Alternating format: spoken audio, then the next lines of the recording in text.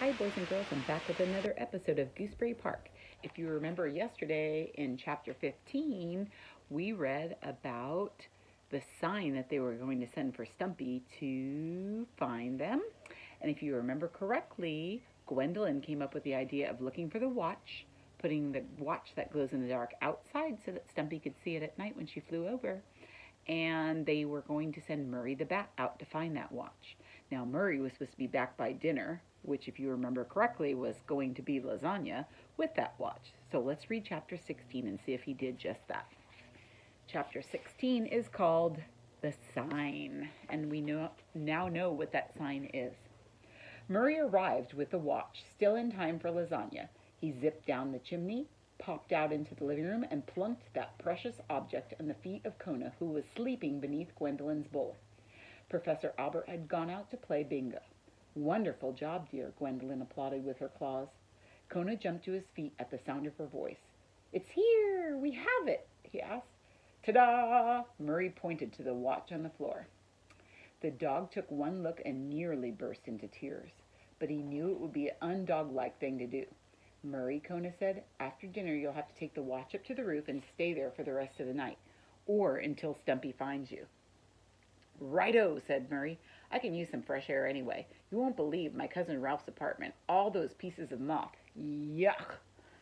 Did you have any trouble, dear? asked Gwendolyn. Nah, said Murray. Murray was napping. I mean, Ralph was napping, and his second favorite hobby is that. Besides, I've been sneaking things out of places all of my life. If Stumpy shows up tonight, you'll have more sneaking to do, said Kona. You'll have to sneak her in here. A snap, said Murray. This house is full of holes.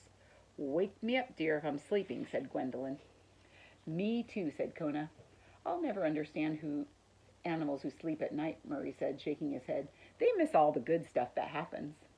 After he gobbled down a huge plate of lasagna, garlic bread, and, a, and everything else, the little bat picked up the watch and flew out to the roof to wait for Stumpy. Inside the house, the night seemed endless. The professor came back home and went to bed.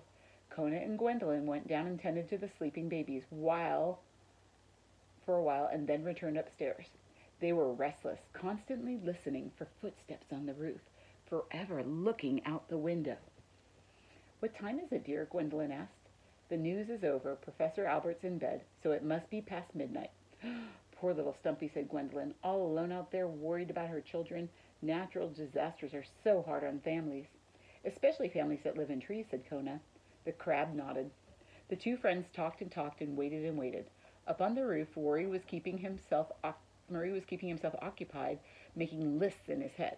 First, he listed things that were green limes, olives, Christmas trees, Kermit the Frog. Then he listed all the things that were yellow corn, sunflowers, lemon, big bird. Blue things swimming pools, berries, the sky, and Cookie Monster. Murray had watched a lot of Sesame Street in Professor Albert's house. He had gone through the purple list, an orange list, a red list, a white list, and was just beginning a striped list when he heard someone in the trees whispering his name. Murray.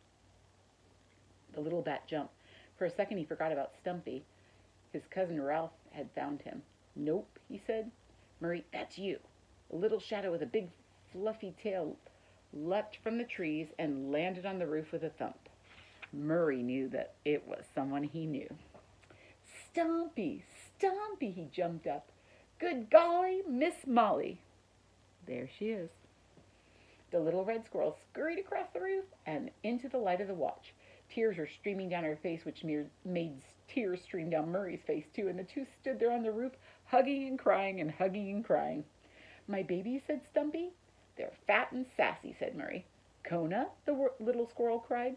Fat and bossy. Murray started to cry even harder. Stumpy laughed and began to wipe away Murray's tears. And you, Murray? she asked gently. Just fat, answered the little bat with a cheery grin. I bet I have the worst garlic breath.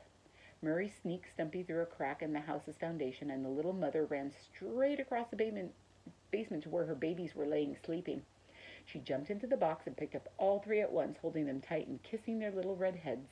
The children were drowsy and half asleep, but they seemed to recognize their lost mother, for they held tight to her with her tiny paws.